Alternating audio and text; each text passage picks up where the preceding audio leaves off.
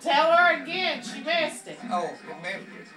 Well, when a man when a man and woman got married, they put the man on a rail, you know, about four of them, two here and two there. And they carry him like go out here and carry him all the way around, bring him back here, set him off.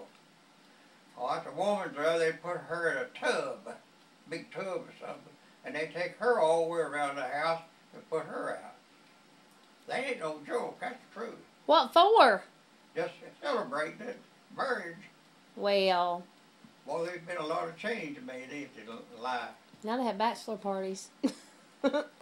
Opal Grisson's, uh, Opal Cope used to be her, her grand, her, uh, her husband, let's see, she, uh, she married a Grisson, wasn't it, and, uh, and her, uh, let's see, it'd be her, uh, that boy's, uh, uh, uh, was that, that boy, that she married the man, married the boy, uh, the man.